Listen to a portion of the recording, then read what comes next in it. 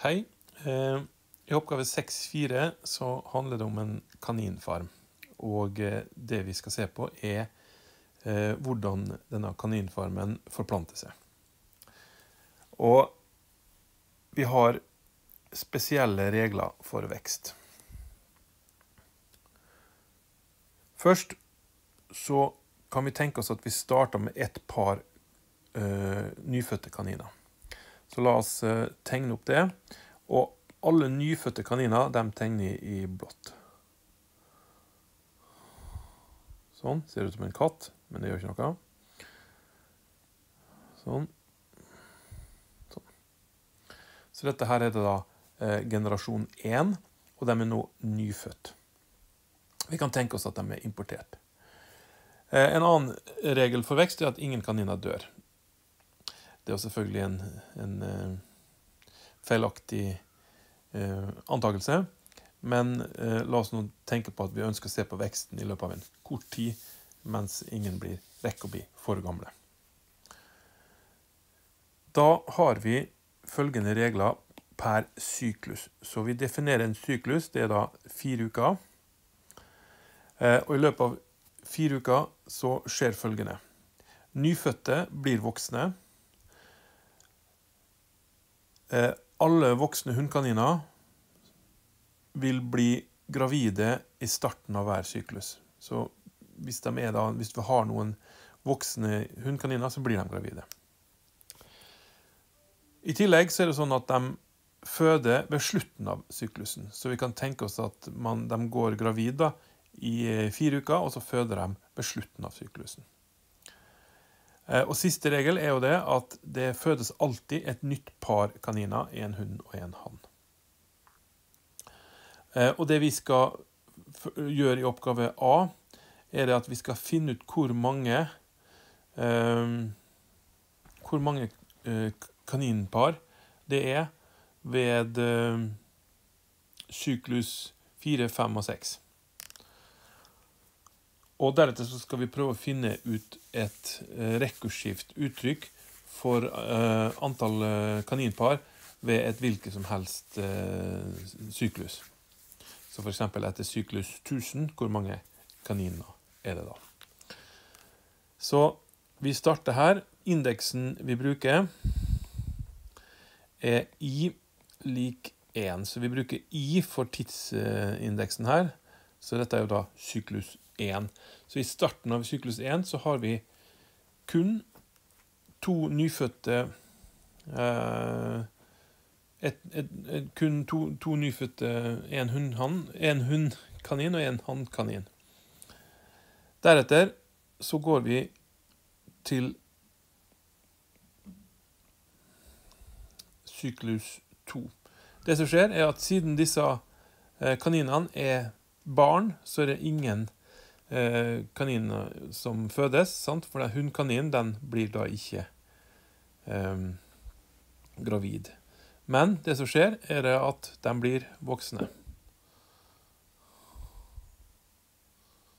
Så da tegner vi dem i rødt. Så dette paret her går fra å være et lite par til et stort par. Så skal vi da tenke oss at antall par her kaller vi da for A1, er da lik ett par. Det vi da også vet, er at A2 er også da fremdeles bare ett par. Når vi nå går til neste syklus, i lik 3, hva skjer? Jo, da vet vi det at gravide hunnkaniner eh, blir gravide ved starten av hver syklus og føder ved slutten. Så det vi vet, er at vi da vil, da vil vi få et nytt par dem som vi allerede hadde her, dem vil fremdeles være voksne. Men samtidig så har det blitt født eh, et eh,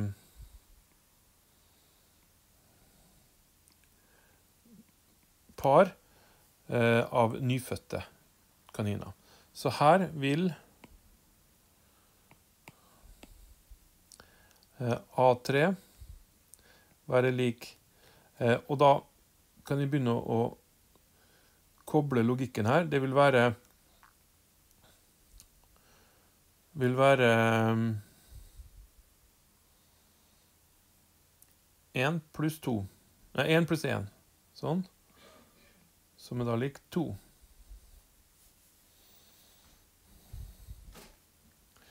Én som Ja, kanskje vi kan bruke fargekode her. Så kan vi si at eh, den ene kommer fra de voksne, eh, og den andre kommer ifra fødte. Hvis vi nå går til neste syklus, hva skjer? Jo, her har vi én voksen hundkanin.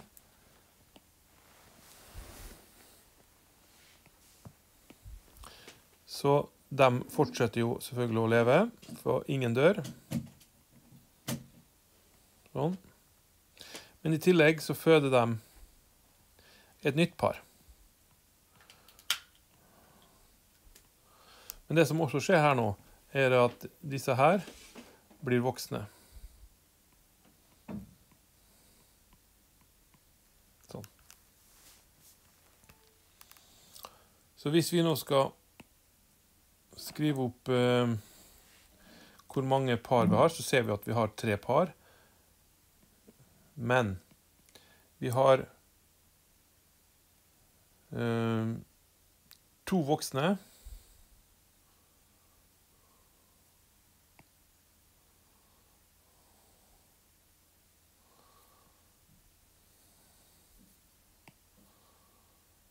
Vi har to voksne.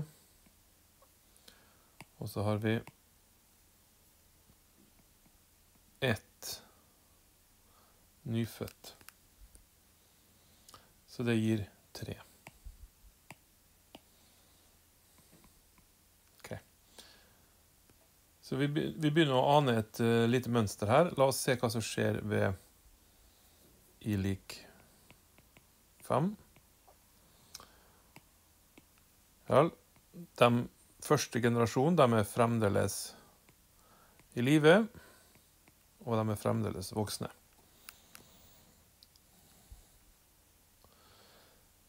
Det som også skjer, er at de føder et nytt kull, som vanlig.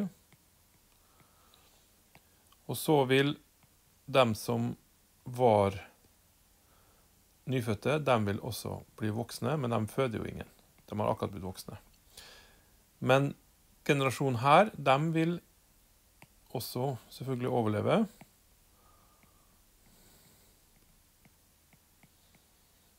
Men de vil også da føde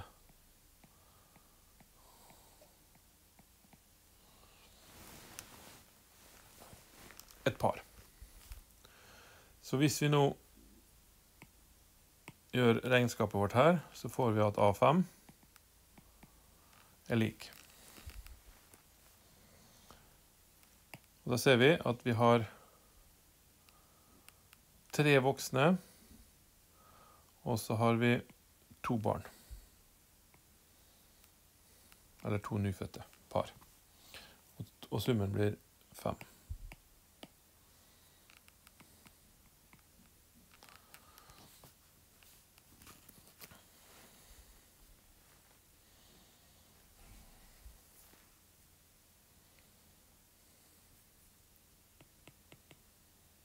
Ved neste generasjon så vil de her fremdeles overleve.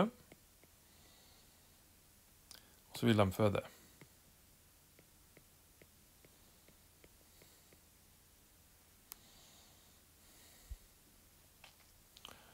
De forrige, som var nyfødte, de blir voksne.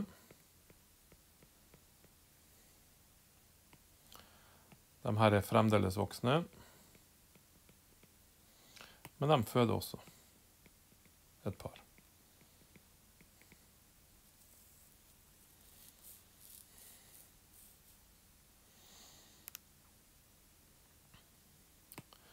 Her har vi også et voksent par. Men de føder også et par. Også dem som var Eh, barn. De blir nå voksne. Da får vi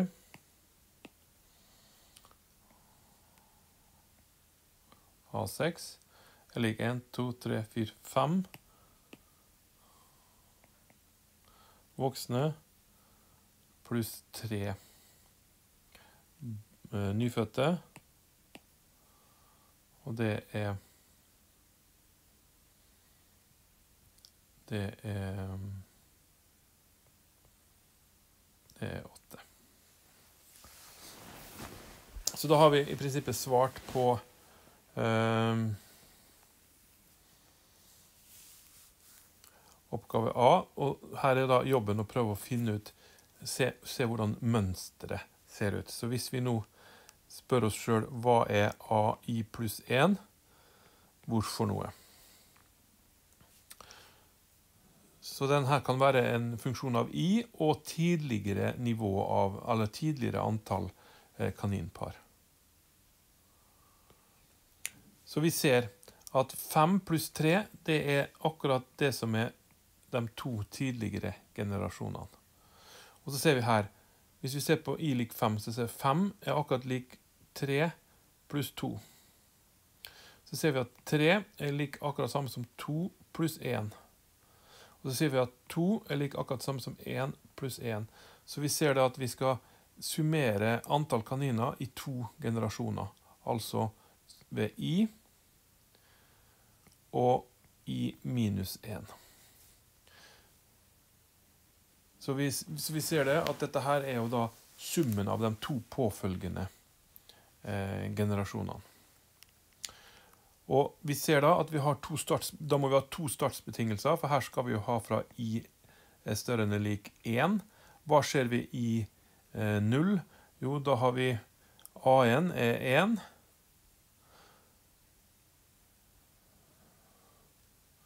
Vi skal starte ved i lik 2, faktisk. For vi må ha to startsbetingelser, siden vi, har, siden vi er avhengig av to ledd tilbake i tid. Så A1 er lik 1, og A2 er også lik 1. Så her er svaret på oppgave A. da.